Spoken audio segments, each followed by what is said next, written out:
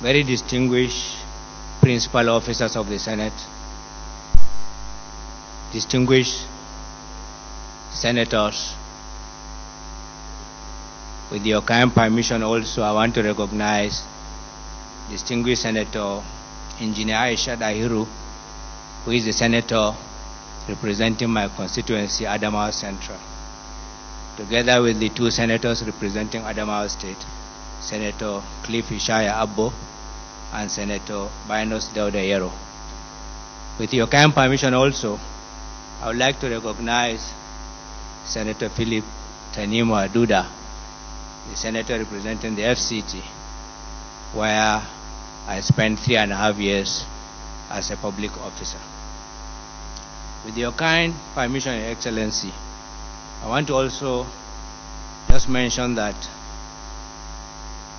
Senators Ahmed Hassan Barata, who was a senator in the 7th Assembly, has graciously escorted me to this hall, together with Senator Ahmed Abubakar, who was a senator of the 8th Assembly.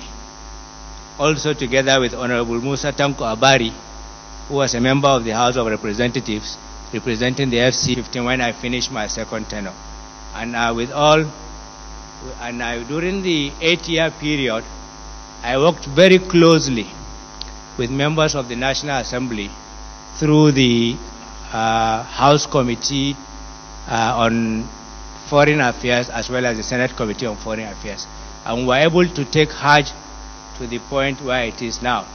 And of course, I, I, was, I didn't do it alone. I got tremendous support from members of the National Assembly and from members of the executive. I do recall that distinguished Senator Adua, Oduah was one time Minister of Aviation, and she knew the kind of support she gave me with all the airline flights and so on, and I'm forever grateful, ma'am. I also recall that Senator Solomon Adeola, when he was in the House, and was the chairman, and was the chairman of the, I think it is uh, the watchdog, Public Accounts Committee. Initially, I didn't understand him, but I'm forever grateful to you because he told me. He said that what we are doing here is to protect you from going to jail, and really, it has helped us as public officers. Thank you very much, sir. So after my eight-year work as the chairman of the pioneer chairman of the National Hajj Commission, uh, Mr. President graciously nominated me to serve as a minister during his first tenure. And I got the opportunity to come into these hollowed chambers, and I was screened here, and eventually I was appointed minister, and then uh, assigned the portfolio of the Minister of the FCT. And I found the assignment in the FCT, with your kind permission, Your Excellency, very interesting.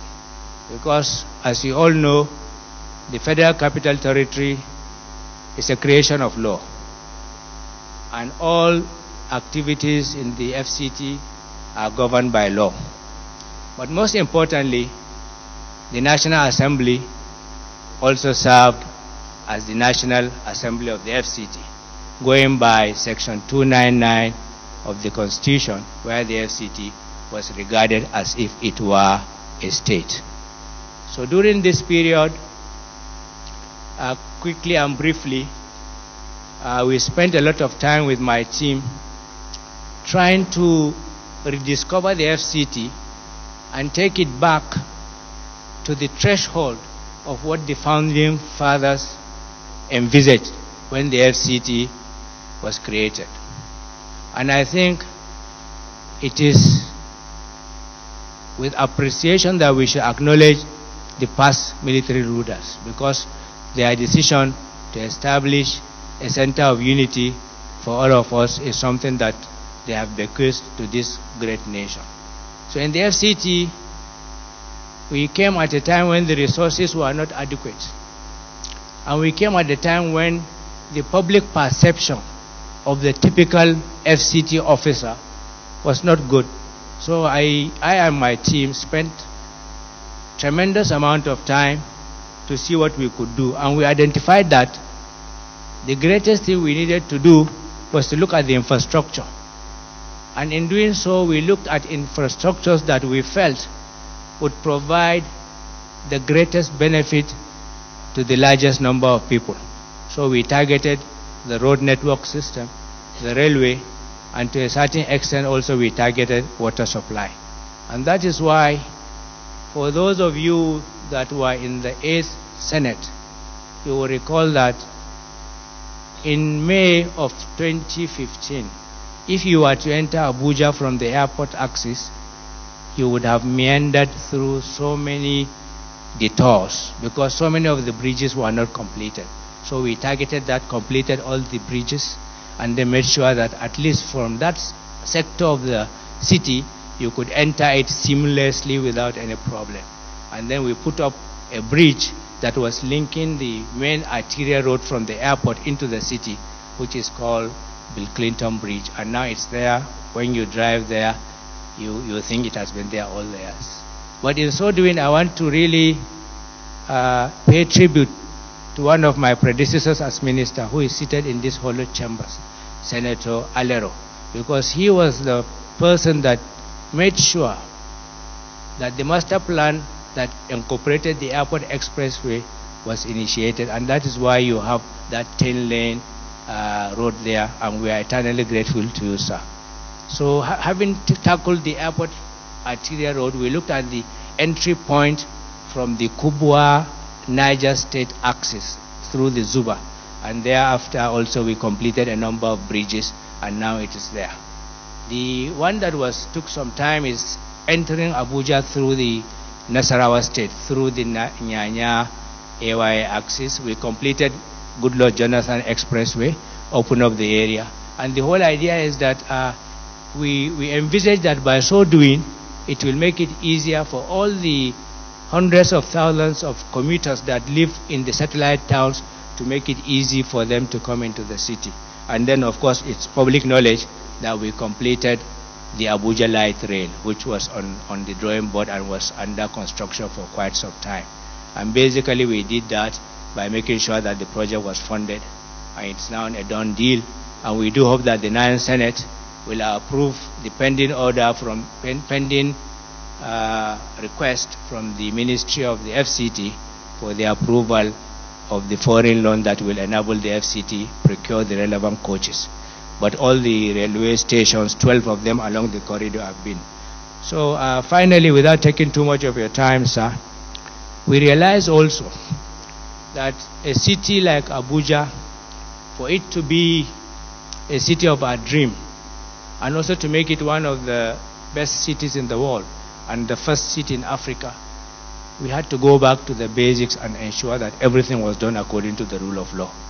Land administration was a huge challenge it reached a point whereby if you had a land document, you were not sure whether it was genuine or not genuine. And we had so many problems of double allocations and all the, which I'm sure some distinguished members are aware. So we revolutionized the land administration and set up a system that made sure that there was proper synergy by all the land departments. It took some time, but at the end of the day now, I can assure the general public that any document you get from the Ministry of the FCT that is land related, you can go to sleep because you know it is genuine. And we also created a system of alternative dispute resolution with respect to land matters because we realized that there were litigations in the court, some of them 20 years old, and we realized that at the end of the day, everybody suffers. The litigant suffers because of the fees, and the city suffers because as long as a land is not. Uh, Honorable Minister. Yes. You have, uh, there are a lot of questions to be asked. So I will, um, I will ask. Particularly, I didn't mention the Senate President, but he has been extremely helpful to me during all the years that I had mentioned that I was in the Hajj Commission, and even during my first tenure uh, in the Ministry of the FCT. And of course, I want to thank Mr. President who have found it, uh, who found me worthy out of so many qualified candidates from my state to reappoint me to come for this screening.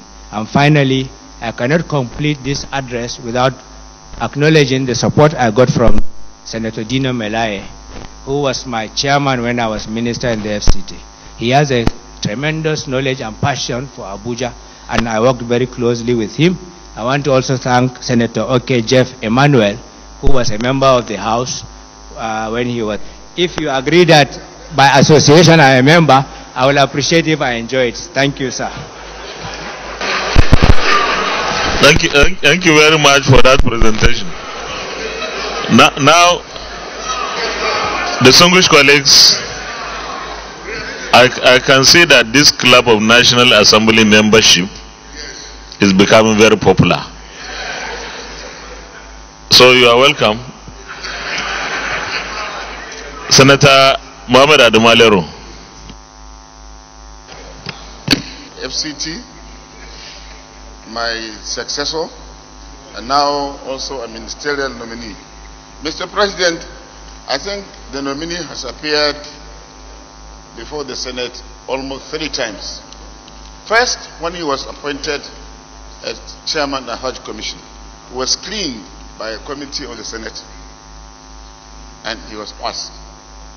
Secondly, in 2015, when he was nominated as Minister of the Federal Republic, he appeared before us here in this hallowed chamber. We screened him, we asked him several questions, and he answered them eloquently. Mr. President, from what he said, he gave us his uh, performance as chairman of uh, Hajj Commission. He equally abridged his performance as minister of FCT.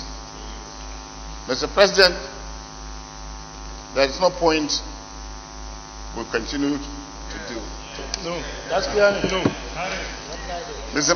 Mr. President, I don't think there is any need for us to delay asking him to go. He has done, he has done very well. Uh, he has mentioned critical infrastructure that is needed in FCT. And what impressed me most, Mr. President, all abandoned infrastructure he inherited. He continued with them and he completed quite a number of them. And he also decided to extend development at the satellite towns. And that's why people are no longer living in the city. The city is now decongested. People are now going to live in satellite towns. Mr. President, not only that, water supply is very, very critical to a city like Abuja. When I was minister, I did my very best to complete phase three and phase four of the uh, water treatment plant. And from what he said, he was able to complete it when he became Minister of FCT. There are so many things that need to be said, but I plead with my colleagues, from, particularly from the other side. No objection. Here from this side too. I'm sure. Order. I'm, I'm sure there will be no objection. So, Mr. President, with your kind permission, I, I, I, I, I want you to put the question. Let the nominee take a bow and go. Thank you very much. Senator Aishatu Dahiru Ahmed.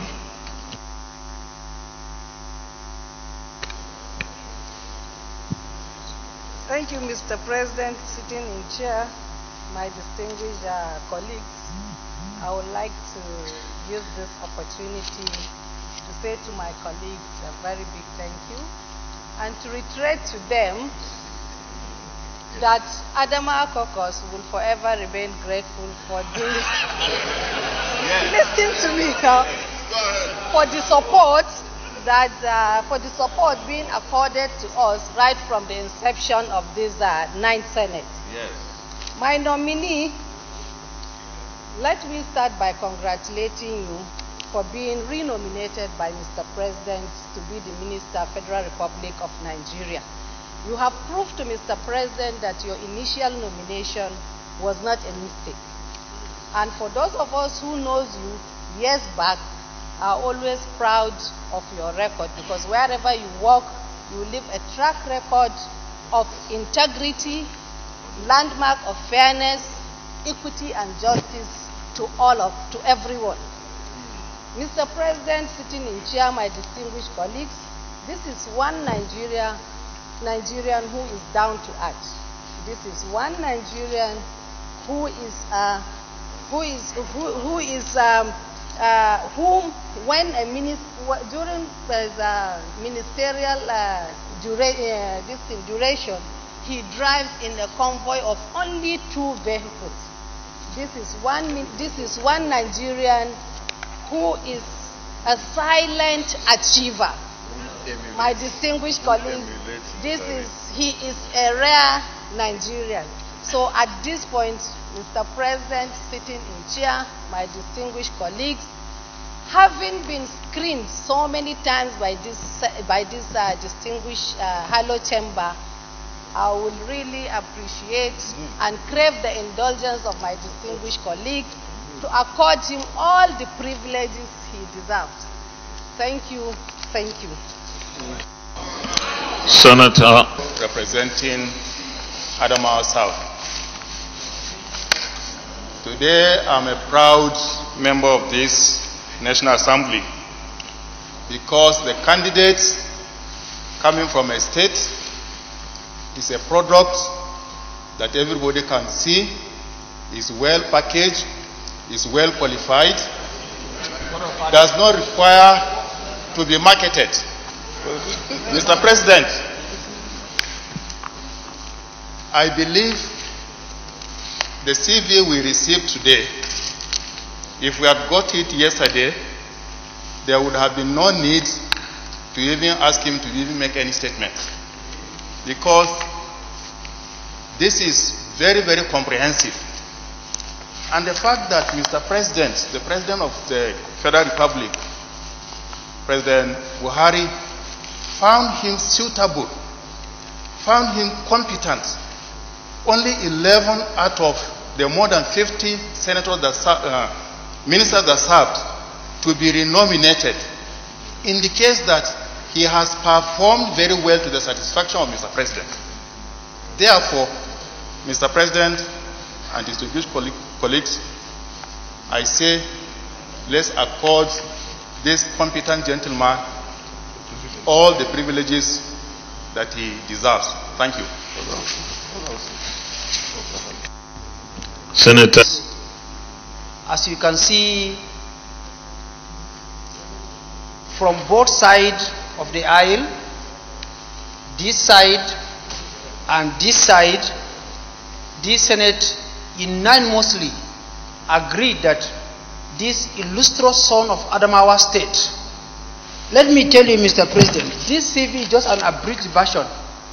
If we bring complete CV, we will be reading it like in volumes.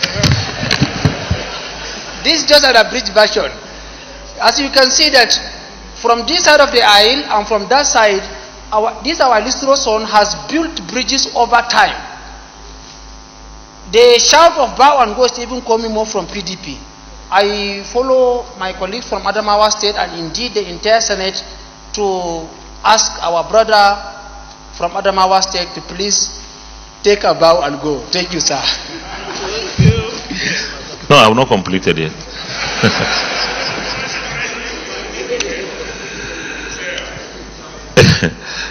Is it the wish of the Senate that the nominee takes a bow and go? I've not put the question yet. Those in favor say aye. Those against say nay. The ayes have it. Take a bow and go.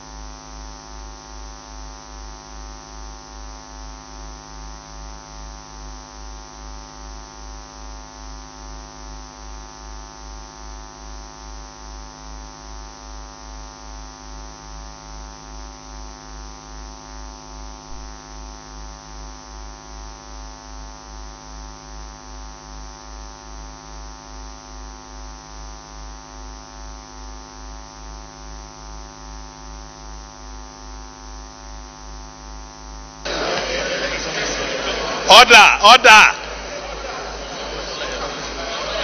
Order.